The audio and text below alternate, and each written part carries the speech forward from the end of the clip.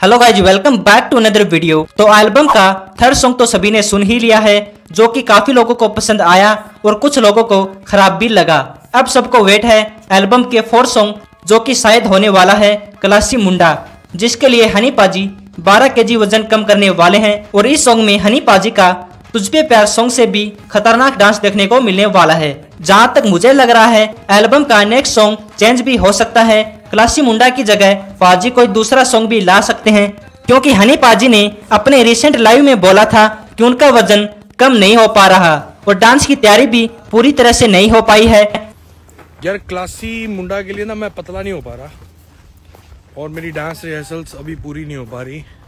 और अभी सॉन्ग आने में एक महीने से भी कम वक्त बचा है और इतने कम वक्त में 12 केजी वेट कम करना और प्रॉपर डांस की तैयारी करना और फिर उसे शूट करना इतना सब, इतने कम वक्त में होना बहुत ही ज़्यादा मुश्किल है। इसलिए मुझे लगता है कि क्लासी मुंडा सॉन्ग की जगह कोई दूसरा सॉन्ग आने वाला है।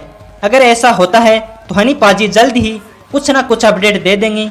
लेकिन पाजी को जितना हो सके, उतना जल्दी सॉन्ग लाने चाहिए, क्योंकि एल्बम की हाइप कम होती जा रही है और लेबल को भी एल्बम का प्रमोशन करते रहना चाहिए, जिससे हाइप बनी रहे। आप लोगों को नेक्स्ट सॉन्ग का कितना वेट है कमेंट सेक्शन में ज़रूर बताना। चैनल पर नए हो तो चैनल को सब्सक्राइब कर लेना। वीडियो अच्छा लगा हो तो वीडियो को लाइक कर देना।